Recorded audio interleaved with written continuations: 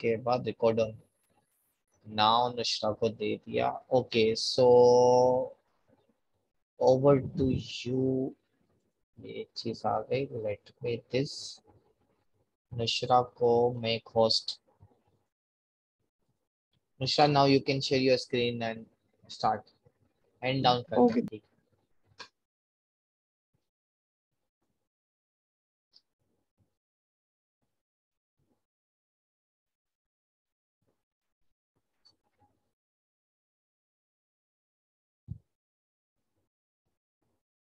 So can you see my screen? Yes, yes, yes, yes.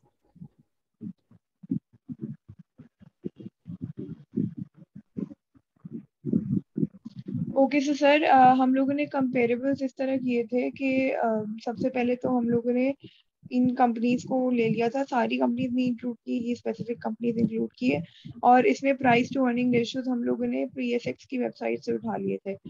उसमें से with outliers और without outliers हमने दो अलग अलग तरीके से लिखे मुझे हैं। सिर्फ़ इतना आइडिया दे दें कि ये प्राइसेस किस डेट की हैं।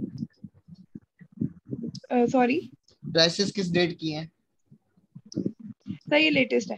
हाँ गुड ओके 2021 ओके यहाँ पे तो मतलब आप आज की तारीख पे भी एक ही तारीख डेट सेम डेट्स पे भी ले सकते हैं गुड ओके और उसके बाद सर ये नेट इनकम हम लोगों ने कैलकुलेट की है जो कि हम लोगों ने फाइनेंशियल स्टेटमेंट से उठाया था नेट इनकम आफ्टर टैक्स अच्छा यहाँ पे फोरकास्टेड तो आप कर सकते हैं जो आपने फोरकास्ट किया लेकिन मैं यहाँ पे सजेस्ट करूँगा ये श्योर नेट ये लास्ट लेटेस्ट ईयर की नेट इनकम नहीं है फोरकास्टेड है।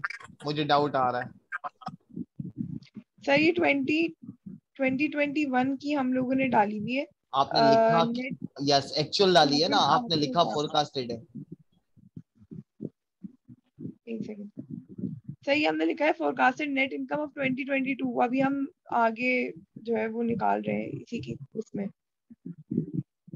देखें यहाँ पे एक चीज़ रिफ्लेक्ट हो रही है लेकिन खैर मैं वो चीज़ रिकॉर्डिंग है इसलिए कहना नहीं चाह रहा। एक्चुअल डेटा है ठीक है आपने ये काम खुद किया है मुझे सिर्फ़ ये बता दें कि ये six lakh fifty six thousand seven sixty six twenty twenty one का है तो ऊपर ग्रीन में क्या नज़र आ रहा है?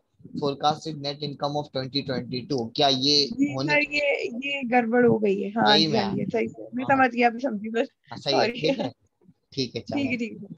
उसके बाद सर हमने नंबर ऑफ़ आउटस्टैंडिंग शेयर्स निकाले थे हाँ. जो कि हमने अजम्पशन से उठा लिया था और उसके बाद जो है वो फोरकास्टेड अर्निंग्स पर शेयर हम लोगों ने इस तरह निकाली कि नेट इनकम को डिवाइड कर दिया था okay number of outstanding shares से। ओके गुड उसके बाद फोरकास्टेड प्राइस बाय कंपेरेबल्स हम लोगों ने निकाली अ, जो कि हम लोगों ने एवरेज निकाला था प्राइस टू अर्निंग रेशो उसको हमने मल्टीप्लाई कर दिया था फोरकास्टेड अर्निंग्स पर शेयर से। ओके गुड तो हमारे पास फोरकास्टेड प्राइस बाय कंपेरेबल्स आ गई। और उसके बाद सर हम लोगों ने करंट मार्केट प्राइस जो वही वाली ली हुई थी जो आपसे पूछी हुई मतलब आपको अभी दिखाई ना हाँ हाँ। दिसंबर की 21.01 ओके दिसंबर तो नहीं वो लेटेस्ट लेनी चाहिए और आज की प्राइस से। कंपेयर करना चाहिए बस क्योंकि ऊपर की प्राइसेस की एवरेज जिस तारीख की है उसी तारीख के प्राइस से आप कंपेयर करेंगे। तो ये डेट्स डेट्स का मिसमैच नहीं होना चाहिए बाकी ओके सही है और उसके बाद ये forecasted price by cash flow method sir ये हम लोगों ने वही पुरानी अजम्पशन से जो उठाई हुई है। Price share 4.8 okay. अच्छा मुझे ये बताएँ यहाँ पे एक छोटा सा इश्यू आ रहा है। मुझे लग रहा है कि आपकी एक और बड़ी चीज़ गड़बड़ वाली आ रही है। अच्छा मुझे ये बताएँ कि आपकी अर्निंग पर शेयर कितनी आ रही है? ये ज़ीरो पॉइंट ज़ीरो सेवन आ रही है। इस बात का मुझे इस पे थोड़ा सा डाउट आ रहा है। यानी आप ये कहना चाह रही हैं कि ये कंपनी इस कंपनी के पर शेयर के एक्चुअल प्रॉफिट सिर्फ़ सात पैसे का है ठीक है? जी सर ओके सात पैसे का। इसका मतलब ये अगर थर्टीन का मल्टीपल्स अगर हम अप्लाई करते हैं तो प्राइस एक रुपए बननी चाहिए ठीक है? जी सर जबकि आपकी मार्केट की प्राइस इक्कीस रुपए आ रही है। ओके। आ, सर जब हम ये कर रहे थे ना तो हमें एक्चुअल जो नंबर ऑफ़ शेयर्स थे ना वो ढूँढने में बहुत मुश्किल हो रही थी। तो उसी वजह से मुझे लगता है हमारी प्रॉब्लम हुई है। ओके okay, मुझे अब ये बताएँ ये जो नंबर ऑफ़ शेयर्स 8.47 मिलियंस है मुझे इस पे डाउट आ रहा है। ठीक है? जी सर सेम हमें भी यही हो रहा सर है। ये हमने एनुअल रिपोर्ट से उठाया था। वहाँ ओके। भी बहुत मुश्किल से हमें मिला अच्छा था नोट अच्छा अच्छा एक और चीज़। अब इसमें छोटा सा मसला मालूम है क्या एक और जो चीज़ लग रहा है। ये जो six lakh fifty six thousand है ये बेसिकली 2021 का का नेट प्रॉफिट है ना? नेट इनकम जी, जी, 2021 का है। ठीक है? और 2021 के अंदर due to covid profitability effect हुई है नहीं हुई इस बिज़नेस के? अगर आप नीचे एक्चुअल डेटा दिखाएँ एक्चुअल डेटा दिखाएँ।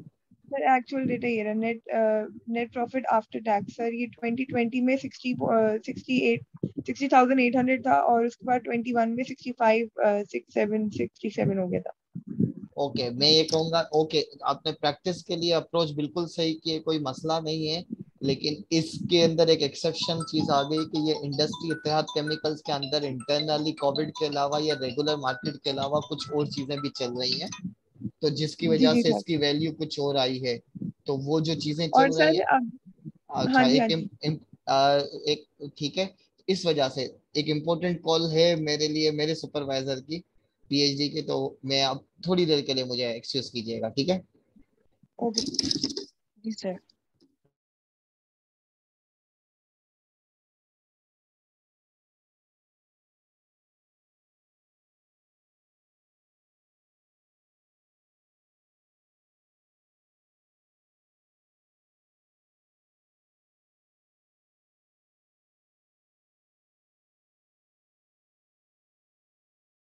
नुशरा।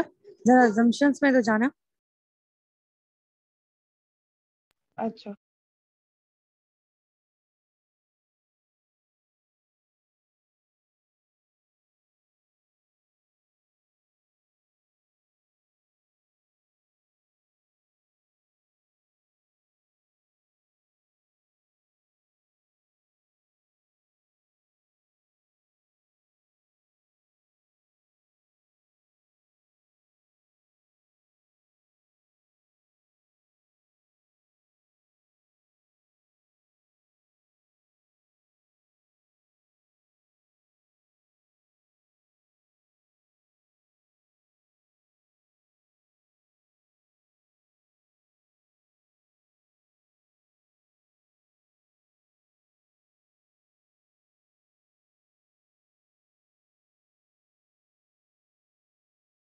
क्लास एंड हो गई है क्या? नहीं सर की कॉल आई है इम्पोर्टेंट वो उसे अटेंड करने गए। वापस आ रहे हैं।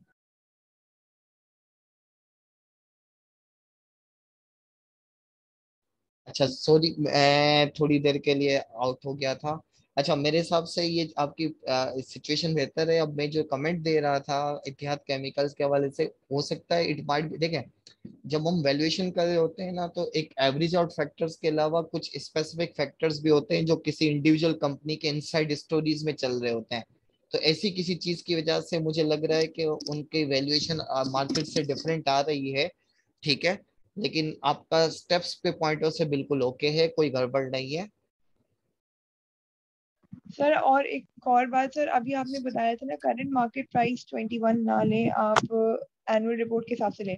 सर एनुअल रिपोर्ट हमने अभी चेक की है 30 जून 2021 की पब्लिकेशन है। हाँ हाँ हाँ। और सर उस हिसाब से सर प्राइस ऊपर जा रही है।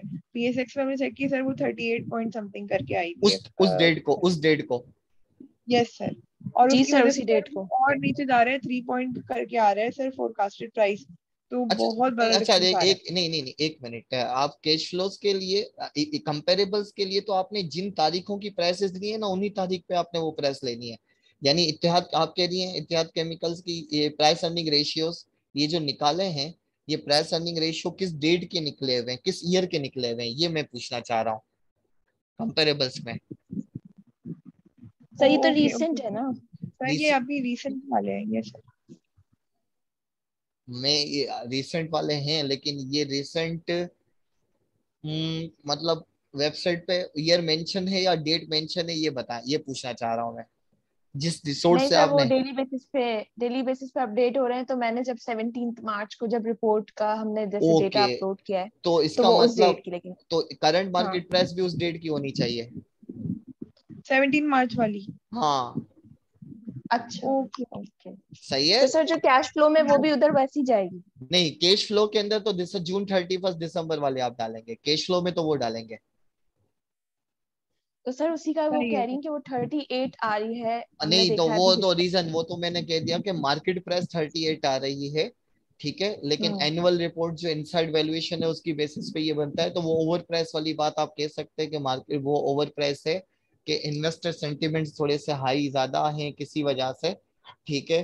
तो वो रीजन इनसाइड स्टोरी हो सकता है कि इट माइट बी पॉसिबल कि मार्केट में कोई ऐसी न्यूज़ हो, लेकिन इट स्टॉक मार्केट में एक होता है टेक्निकल एनालिसिस हम उस तरफ़ जाना नहीं चाह रहे कि इन्वेस्टर समटाइम ओवर वैल्यू या अंडर वैल्यू किसी और फैक्टर से कर रहा होता है जेन्युइन फंडामेंटल्स देख के नहीं कर रहा। हम जो वैल्यूएशन कर रहे हैं ना, वो वैल्यूएशन बाय फंडामेंटल्स का एक कॉन्सेप्ट है। फंडामेंटल्स का मतलब इनकम स्टेटमेंट और बैलेंस शीट को देखकर आप किसी शेयर की प्राइस निकाल हैं जबकि मार्केट में डिमांड एंड सप्लाई का एक कॉन्सेप्ट होता है कि इन्वेस्टर अब उसे इन्वेस्ट करना है तो वो इस इंडस्ट्री में वो किसी वजह से उस तरीके से अगर इन्वेस्ट करना चाहे तो वो, वो उस वजह से। अच्छा सदफ आप अपनी स्क्रीन शेयर इसलिए नहीं करें कि सब नशरा होस्ट है। सर मैंने नहीं बोला है कोई और कह रहा है। ओके चले। अच्छा खैर, मेरे हिसाब से आपकी प्रोजेक्ट रिपोर्ट कंप्लीटली बेहतर है। बस एनालिसिस जो वर्ड वाला पार्ट है ना, उसमें यही टेबल कॉपी पेस्ट करके वर्ड वाले पार्ट के साथ आप थोड़ा सा राइटअप लिख लीजिएगा, जो अभी हम डिस्कशन कर रहे हैं। ठीक है, और ये कंप्लीटली एक्सेप्टेबल है। मेरे हिसाब से आपका प्रोजेक्ट सबमिटेबल पोजिशन में है। ठीक है कि प्राइस लेकिन आपको रीजन को अपने तौर पे जस्टिफाई या रीजन देने कि क्या वजह हो सकती है, क्या नहीं। जैसे मैंने आपके केस में बता दिया कि वैल्यूएशन बाय फंडामेंटल्स और टेक्निकल एनालिसिस यानी हिस्टोरिकल प्राइस देखकर एक ट्रेंड कर रहे हैं और एक इन्वेस्टर दो तरह के इन्वेस्टर मार्केट में होते हैं। एक होता है कि वो कंपनी के इनकम स्टेटमेंट और बैलेंस शीट देखे बगैर जस्ट बाइंग एंड सेलिंग कर रहा होता है और एक होता है कि जो लॉन्ग टर्म इन्वेस्टमेंट परस्पेक्टिव में बाकायदा इनकम स्टेटमेंट बैलेंस शीट देखकर ओनरशिप क्लेम करना चाह रहा होता है। ठीक है? तो ऐसे इन्वेस्टर इस, जो हम वैल्यूएशन कर रहे हैं ना, वो इस इन्वेस्टर के पर्सपेक्टिव को देख रहे हैं, जो लॉन्ग टर्म इन्वेस्टमेंट करना चाह रहे हैं। एक जबकि मार्केट स्टॉक मार्केट के अंदर एक टेक्निकल एनालिसिस वाला एस्पेक्ट है, वो ये कह रहा होता है, उसके अंदर ये कर रहे होता है कि भाई इस इंडस्ट्री के अंदर शेयर बाय करना है, एक या दो दिन के अंदर share price ups and down होगी, मार्केट न्यूज़ की वजह से तो हम उसकी वजह से कैपिटल गेन कर लेंगे। तो वो वाला पर्सपेक्टिव हम फॉलो नहीं कर रहे तो स्टॉक मार्केट के अंदर जो प्राइसेस आ रही होती हैं, वो ज़्यादातर टेक्निकल एनालिसिस वाली आ रही होती है तो आप उसकी रीजन देंगे कि अगर आप इन्वेस्ट करना चाहते हैं ठीक है? ओनरशिप के तौर पे लॉन्ग टर्म में तो आप इक्विटी वैल्यूएशन इस तरीके से फेयर मार्केट वैल्यू पे जा रहे होंगे। ठीक है? ओके सर एंड सर आपने जो जीडीपी ग्रोथ का कहा वो अभी हमने देखा तो वो फोर परसेंट है रिसेंट हाँ तो वो आपको बस अपनी रिपोर्ट में फोर परसेंट एडजस्ट कर दीजिएगा और वो फोर परसेंट जो भी सोर्स है उस सोर्स को मेंशन कर दीजिएगा। क्योंकि कोविड की वजह से एक छोटा सा डिक्लाइन आया है तो इस डिक्लाइन को इस तरीके से आप कर दें ठीक है? सर। ओके किसी और ने कुछ पूछा? आवाज़ कट गई शायद सदफ आपकी जी बोले। वो आप रिपीट कर दें।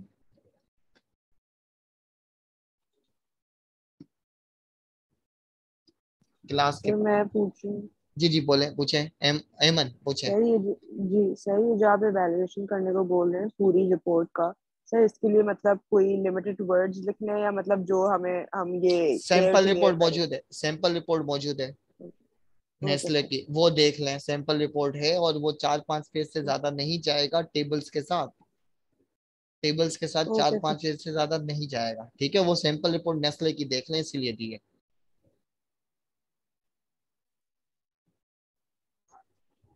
अच्छा इसके अलावा किसी कोई और क्वेरी किसी और की? नहीं? है क्वेरी तो चले हम सर हम लोग अपनी रिपोर्ट में जिस तरह सर अभी ये जो आपने बताया ना इस इसके इंटरनल कोई टेक्निकल एस्पेक्ट्स हैं तो सर वो हम मेंशन कर सकते हैं कि जैसे फॉर एग्जांपल केमिकल इंडस्ट्री है कोविड के आने की वजह से सर केमिकल की डिमांड बहुत बढ़ गई थी बिकॉज़ डेटॉल वगैरह बहुत चल रहा था तो सर उसकी वजह से और सर वो हाइजीनिक फैक्टर्स लोग एक्सीलेंट यस यही राइट अप चाहिए। अब आपको इस चाहिए। आपका राइट अप ये बना के फॉर एग्जांपल के भाई इन्वेस्टर ने केमिकल की प्रॉफिटेबिलिटी को कंसीडर करते हुए शेयर बाय कर लिया। कि भाई अब ये लोग तो डिविडेंड देंगे या फ्यूचर में प्राइस बढ़ेगी लेकिन इसकी एक्चुअल प्राइस इतनी है लेकिन वो बहुत ज़्यादा ओवर प्राइस हो चुकी है। आप ये इस वजह से कह सकते हैं कि इन्वेस्टर ने इस तरीके से परसिव किया लेकिन इसकी फंडामेंटल बेसिस पे इसकी प्राइस ये बनती है। ठीक है? लेकिन अगेन इसको आप यूँ भी कह सकते हैं कि अगर यही वैल्यूएशन आप 2022 की एनुअल रिपोर्ट्स के बाद करेंगे ना तो नंबर्स कुछ और हो जाएँगे। क्यों? क्योंकि उस वक्त तक आपके पास फोरकास्टेड हिस्टोरिकल नंबर्स तो मौजूद है लेकिन 2022 पर अप्लाई करते हैं तो नंबर्स कुछ और हो जाएँगे क्योंकि अब एनुअल अनाउंसमेंट कुछ और आ रही है। तो यस आपने ये पॉइंट यही लिखना है इसी तरह की डिस्कशन करनी है। ठीक है? सही है सर। Okay sir? जी जी जी। सर हमें जो नंबर ऑफ़ शेयर्स में जो क्वेरी थी उसको कैसे हम सॉल्व करें? नहीं अब नंबर ऑफ़ शेयर्स के अंदर जो क्वेरी थी ना तो मैं ये कहूँगा कि एनुअल रिपोर्ट्स वाले नंबर पे ही जाएँगे आप।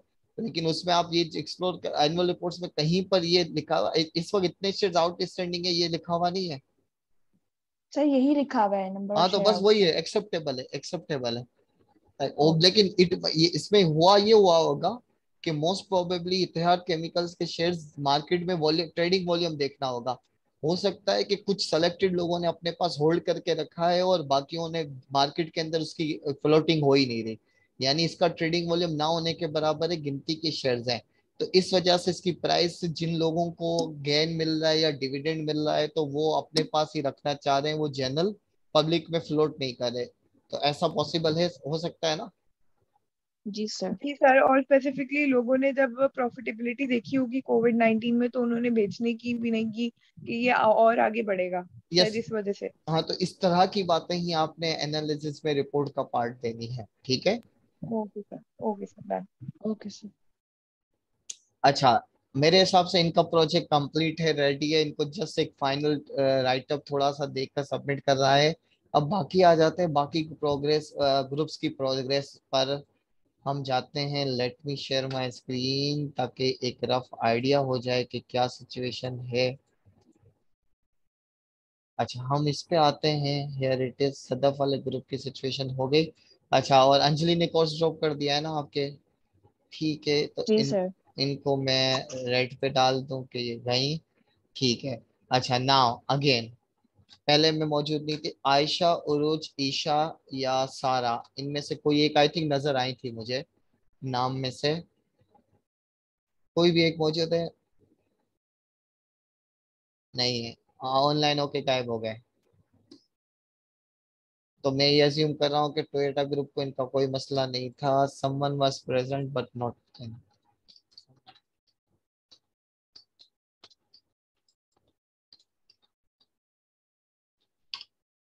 और ठीक है।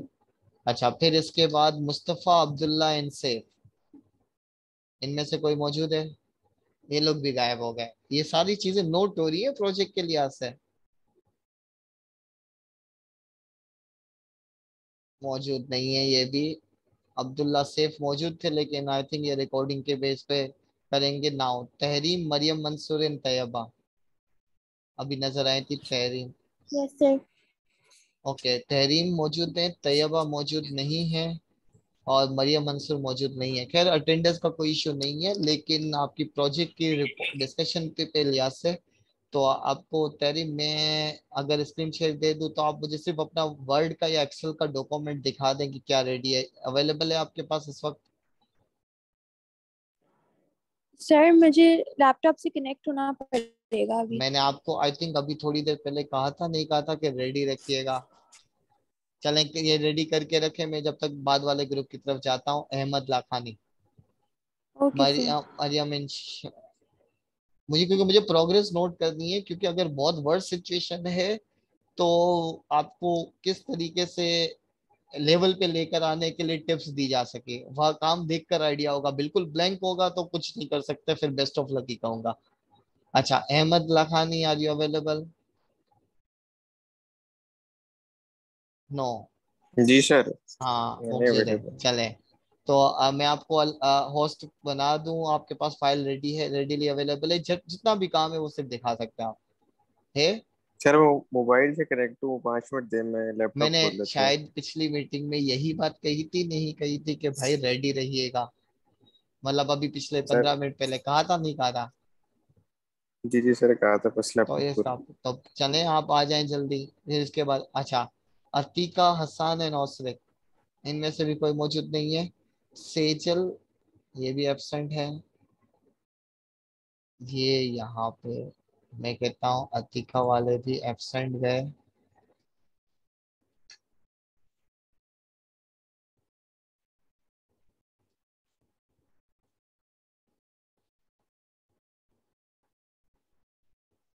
ठीक है, और उरुस ये वाला, इनमें से भी कोई नहीं था। ठीक है नाव अच्छा सेजल हिरा एंड तलहा। ये भी नहीं है। नाउ प्रिंजन एमन एंड अरीबा ये दोनों मौजूद है टेक्स्ट प्रिंटी ओके ओके तो मैं आपकी फ़ाइल आपके पास जो भी काम हुआ हुआ है आपके पास जितना भी है ये बताएँ आपके काम की प्रोग्रेस क्या है? सर मैं आपको बताती हूँ अपनी फ़ाइल खोल कर मैं आपकी स्क्रीन शेयर अलाउ कर दूँ एमन जी सर कर दें। मैंने कर दिया है ठीक है। तो मैं शेयर करूँ एक मिनट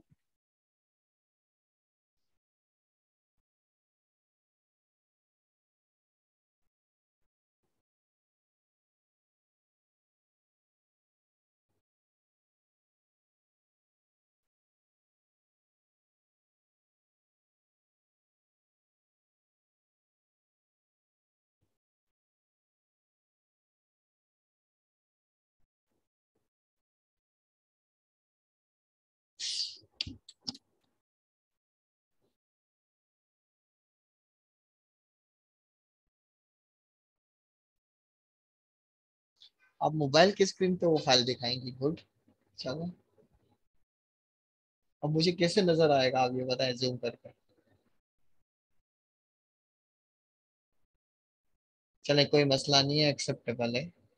सर शेयर हो रही है मैं आपको आगे करके दिखा दूँगी मोबाइल पे। मैं आपको नहीं आपका वर्क मतलब ये मुझे ये बता चले वर्बली ब्रीफ कर दें आपके पास फ़ाइल रेडीली मौजूद है और वो एक रफ स्ट्रक्चर शो कर रहा था। ये बताएँ इसमें कुछ मसले थे? वो मसले आपके आइडिया हो गया इस पिछली अच्छा नहीं आप किसी और क्लास में थी इस वजह से लेकिन क्वेरीज का आपको आंसर मिल चुका है या नहीं? जी जी सर क्योंकि हमारी जो चीज़ें मिसिंग थी ना रिपोर्ट में हमें ये जो सदफ लोगों की रिपोर्ट थी उसमें पता चल गया हमें और क्या क्या काम करना है और हमें आइडिया हुआ किस तरह करना है। क्योंकि Okay. हमारी रिपोर्ट में भी दो तीन चीज़ें मिसिंग है। हाँ तो बस चले ठीक है लेकिन ये है कि ये चीज़ अब वो देखें लास्ट टाइम पे पैनिक ना हो तो इस वजह से ये नेक्स्ट वीक में जब सबमिशन के टाइम पे मिसिंग चीज़ें नज़र आएँगी तो इफ़ेक्ट होगा। तो अगर स्टिल कोई क्वेरी है तो आप वो पूछ सकते हैं। अगर कोई क्वेरी नहीं आपको आइडिया हो गया है ठीक है तो that's good best of luck ठीक है? अच्छा बाकी दोनों में से कोई और आना चाह रहा है? कौन था? लाखानी एंड तहरीम शायद नहीं, तहरीम तो इसी ग्रुप की थी। वो कहाँ गए? गायब हो गए? नहीं हाँ। नाम क्या था? You can not record you can not minimize Zoom when you are recording this meeting ठीक है। ये चीज़ अच्छा मुझे टाइम ये करना था। स्टार्ट और मैं ये भूल गया। कोई इशू नहीं है। हम ट्वेंटी फ़र्स्ट अप्रैल के बजाय टेंथ मार्च वाली वीक एट का स्टार्ट अब ले लेते हैं। तलहा गायब हैं एंड केजार गायब हैं। बाकी सब की प्रेजेंट लगा दी प्रोजेक्ट ब्रीफिंग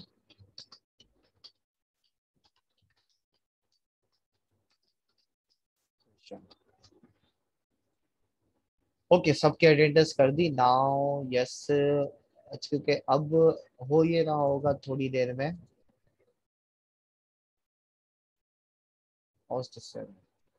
अच्छा एमन आपके पास जी सर। स्क्रीन शेयर अच्छा आपने स्क्रीन शेयर वाली बात हो गई है ठीक है मैं रिक्लेम होस्ट कर दूँ ताकि स्क्रीन शेयर कर सकूँ। अच्छा ये सारी चीज़ें हो गई अच्छा बाकी दो और कौन से दो ग्रुप थे? यस ये दो ग्रुप थे प्रिंजो और एमन वाली situation okay discussion and meeting done हाँ वर्क सिंह सर मैं आपको फ़ाइल व्हाट्सएप करूँ सर लैपटॉप बहुत स्लो चल रहा है। स्क्रीन नहीं शो कर सकते तुम हाँ कौन हो? सर- नहीं। Sir Zoom meeting connect connect होने में वो हैंग हो गया है। चले चलो कोई मसला नहीं है मुझे ईमेल कर दो। अब ईमेल क्या करोगे? ईमेल के लिए तुम्हें व्हाट्सएप कर दूँ अभी। हाँ चलो व्हाट्सअप कर दो। मुझे व्हाट्सअप कर दो। ठीक है मैं खुद स्क्रीन शेयर करके तुमसे कुछ सवाल पूछ लूँगा। अच्छा ये तो गुरु ये तो एहसन वाली बात होगी। और दूसरा कौन था? तहरीम वाले। ठीक है आ, Tehreem now can you share अब फ़ाइल आपके पास रेडी है। सर ये जो फ़ाइल है ना इसमें वो वाला मसला आ रहा है रिक्वेस्ट वाला। कौन सी फ़ाइल में रिक्वेस्ट वाला मसला आ रहा है? सर वो जो कॉमन कर देते हैं ना लेकिन उसमें पता नहीं क्या कोई सेटिंग्स लगाई हुई है तो वो रिक्वेस्ट सेंड हुई है तो वो अभी ऑनलाइन भी नहीं आ रही है मरियम। तो इससे मेरी कैसे मैं उसको बोलूँ? उसको आप डाउनलोड नहीं कर सकते। आप अपने नहीं पास सर जो गूगल वाली वो वाली होती है ना जिसमें आप सबसे शेयर कर लेते हो लिंक हाँ। को तो उसमें एक रिक्वेस्ट का ऑप्शन आ जाता है कि रिक्वेस्ट एक्सेस का ऑप्शन आता है लेकिन वो एक्सेस ऑप्शन आपने इसका मतलब इससे पहले कभी आपने ओपन नहीं की है फ़ाइल ऐसा ही है?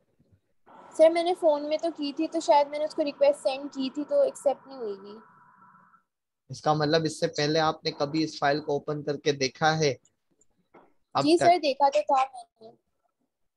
तो अभी क्यों नहीं क्योंकि हम लोगों ने ना इसको हम लोगों ने इसको इस तरह किया था जैसे हम लोग मीटिंग में थे तो एक दूसरे से डिस्कस कर लिया था कि जैसे खोलकर हमने इसको मीटिंग में डिस्कस किया था। ओके आइडिया हो गया चले। Meanwhile yes here it is Sheezan international वाली रिपोर्ट देख लेते हैं कि क्या सिचुएशन है। There it is. Okay I hope ये स्क्रीन नज़र आ रही है। शीट वन आपकी ब्लैंक क्यों है? बैलेंस शीट का एक्चुअल डेटा आपने टाइप किया है शाबाश। इनकम स्टेटमेंट भी आपने टाइप किया है कैश फ्लो स्टेटमेंट भी टाइप किया है। आगे का काम क्या सर आपकी स्क्रीन शेयर नहीं हो रही। अच्छा शेयर स्क्रीन शेयर नहीं हो रही? नहीं सर ओके चले मैं कर देता हूँ अभी। ये रही।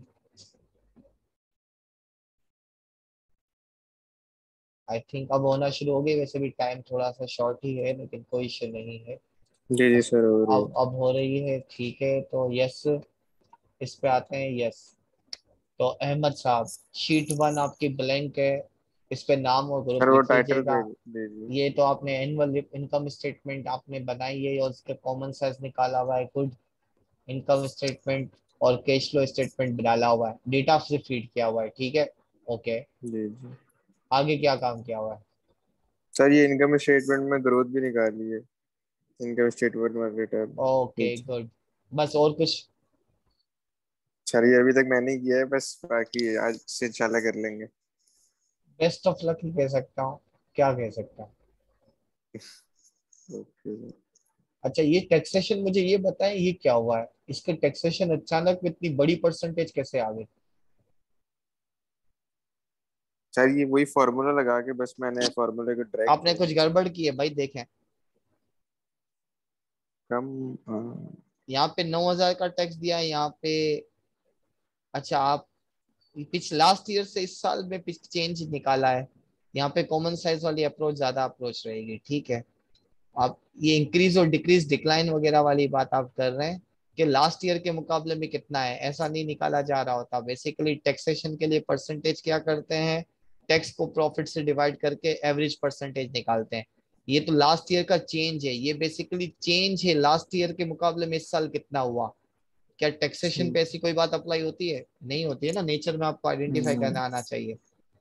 अब देखें ये चीज़ मैंने आई थिंक सदफ वाले ग्रुप में इस तरीके से रियलाइज़ नहीं की उस वक्त मैं मिस कर गया। मेरे सामने ये चीज़ आप पे नज़र आई।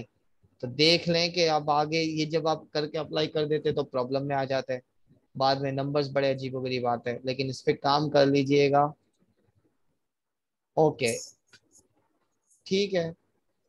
भाई आपको आपके अंदाज़ा हो गया होगा कि आपका नेक्स्ट वीक सबमिशन करनी है और क्या कहाँ पर आप मौजूद हैं कंपैरेटिवली जी जी सर तो अब आप बेस्ट ऑफ़ लक वाले इसी कैटेगरी में जा चुके हैं। Okay sir.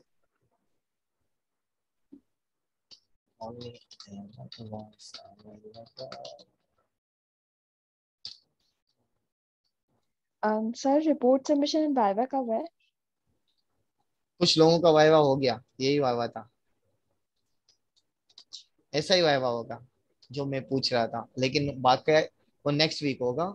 Report submission Thursday वाले दिन थर्सडे को रात को करनी होगी। लास्ट लास्ट में मैं, मैं रात तक का टाइम दे दूँगा बल्कि मैं हाँ रात ताकि मुझे सुबह आने से पहले और आपका इसी तरीके से नेक्स्ट फ्राइडे को इसी तरीके से इंडिविजुअल ग्रुप वाइज लिंक में दे रहा हूँ कि भाई हाँ ये ग्रुप आ जाए ज्वाइन करे ये ग्रुप आ जाए ज्वाइन करे। ठीक है? और ये शीट जो भरी हुई होगी उसी को दूँगा बाकी के तो ज़ीरो गए। बाकी के तो ज़ीरो गए क्योंकि उनका कोई प्रोजेक्ट में काम ही नहीं हुआ एक दो तीन चार पाँच सर ये रिपोर्ट के कितने मार्क्स हैं? ज़ीरो हाँ पूछ कौन रहा है? सर मैं पूछ रहा हूँ अहमद। अहमद लाखानी ज़ीरो मार्क्स है। सर हमने तो लिखा हुआ है। हाँ हाँ तो इसीलिए तो कह रहा हूँ ज़ीरो मार्क्स है।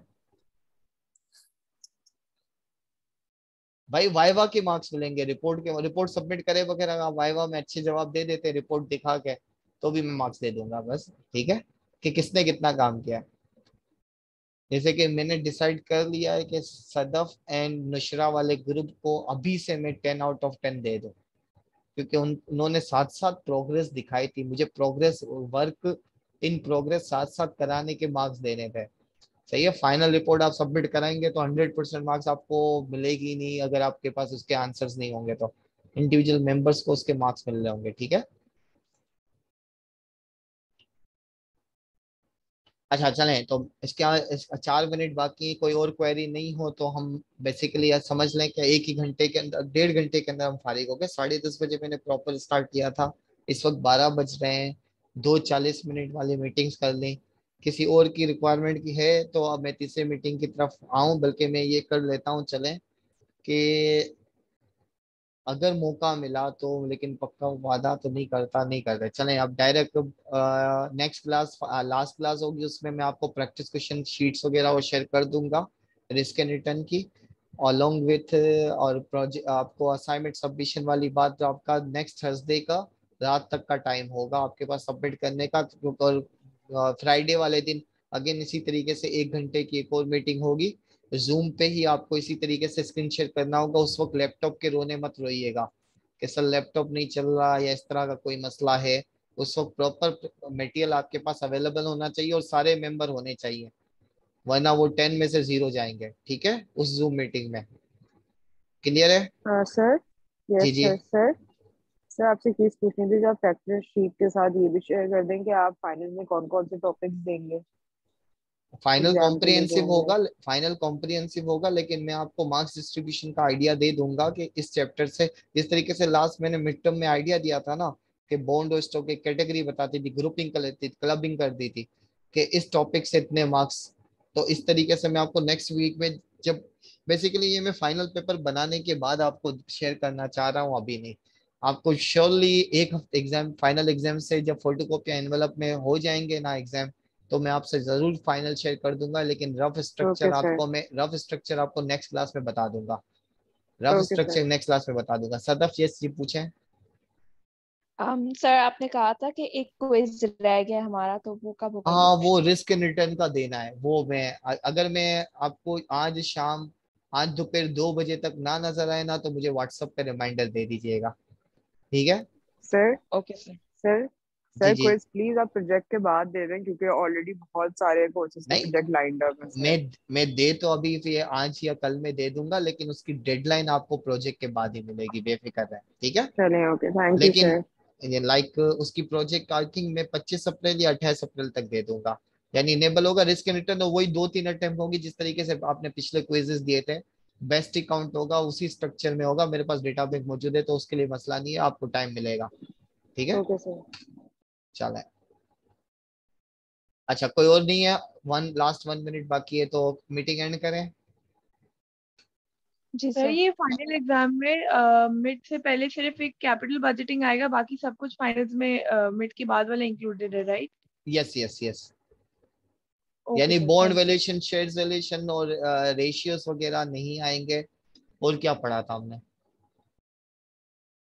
बस sir bond valuation share valuation ratios और कैपिटल बजटिंग था। हाँ तो इसमें से तो कैपिटल की बात तो हमने रिस्क एंड रिटर्न पढ़ा है वैक पढ़ा। है और टाइम वैल्यू ऑफ़ मनी पढ़ा। और फ्री कैश नहीं टाइम वैल्यू ऑफ़ मनी कहाँ पढ़ा? Free cash time value of money कहाँ पढ़ा? वो जो आपने के अंदर नहीं कराया था रीपेमेंट निकालना सिखाया था। वो फ्री कैश रीपेमेंट वो तो लोन अमोर्टाइजेशन स्केड्यूल वो तो free cash flows for all investor और free cash flows for debt investor मतलब इक्विटी इन्वेस्टर उसके कैश फ्लोज यानी कैपिटल बजटिंग में के परस्पेक्टिव में कैश फ्लोज अगर आपके पास गिवन हो और डेट फाइनेंसिंग मौजूद हो तो हम कैसे करते हैं वो चीज़ है। तो वो मिनी केस का पार्ट बन के आएगी। वही चीज़ कैपिटल बजटिंग में मर्ज करके मिनी केस का पार्ट बन के आएगी। यानी एक सवाल ऐसा होगा जिसमें एनपीपी आई आर और ये फ्री कैश फ्लोज दोनों और वेक निकालना होगा उसी के आपके पंद्रह से अठारह मार्क्स की केस हो। और वो कैसी होगी जिस तरीके से हमने दो मिनी केस किए वैसे ही होंगे। सेकंड से इजी होगी फ़र्स्ट से हार्ड होगी बस। सर लेकिन आप कहते थे मैंने आपसे पूछा था ना केस स्टडी टू करनी है तो आपने कहा वो बस देख लो लेकिन वो पढ़ नहीं क्योंकि मैंने उसके साथ प्रैक्टिस सेकंड सेकंड हाँ। तो सेकंड से इजी होगी लेकिन फ़र्स्ट से एडवांस होगी यानी फ़र्स्ट जैसी तो होगी ना।